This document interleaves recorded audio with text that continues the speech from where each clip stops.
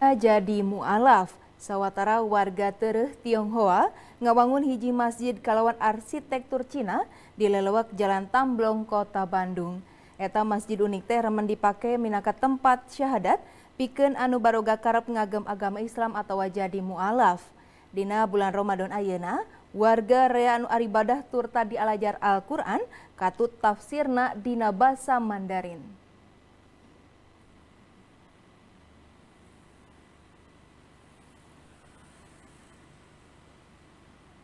Tekawas masjid karere anana eta masjid teh boga ciri oriental anu leket jeung pulas berem katut koneng. Eta warna nu dua teh lir anu mere beja yen eta masjid teh diwangun ku warga tiri Tionghoa anu geus ngagem agama Islam. Diwangun 20 tahun katukang Masjid Lautse jadi masjid anu arsitekturna Cina pangkolotna di kota Kembang Bandung. Eta masjid anu dipasieup ku lampu-lampion teh ukur bisa nadah jamaah 200 orang.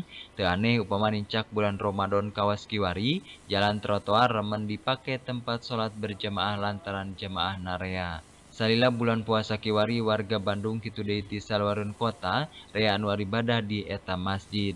Lian ti dipake tempat pikir ngucap sahadat atau anu boga karep ngagem agama Islam, eta masjid teh remen dipake tempat dialajar ngaji, turta boga Al-Quran tafsir bahasa Mandarin.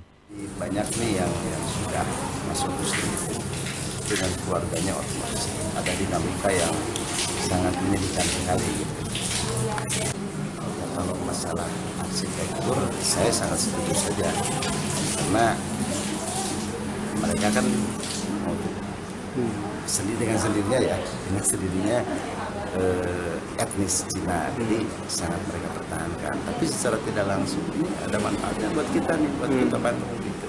Uh, uh, mungkin banyak mualaf-mualaf ini bangsa Chinese ya. Mungkin kalau masuk ke masjid yang umum gitu kadang-kadang kan minder juga pertamanya.